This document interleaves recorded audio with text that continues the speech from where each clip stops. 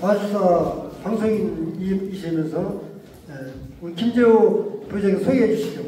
최고다. 이 네. 저기 바깥에 계신 분들 한번 다 들어오시라고 그러시죠 이제 아주 오늘 어, 마지막 신화례가 어, 여러분들 보시기 힘든 그런 마술을 볼 겁니다. 아, 오늘 마술 공연은요 아, 인생 디자인 대학의 최경수 예명은 최고답니다. 우리 KBS 황금영혼의 연못에 10년 동안 어, 이렇게 저하고 같이 이렇게 출연하고 그러신 분인데 지금은 이제 전국으로 다니면서 이렇게 연극 활동을 하십니다. 아주 연세도 많으신데 그래서 오늘 인생 디자인 학교 최고가 어, 마술팀에서 보여드릴 에, 마술은 두 가지인데요.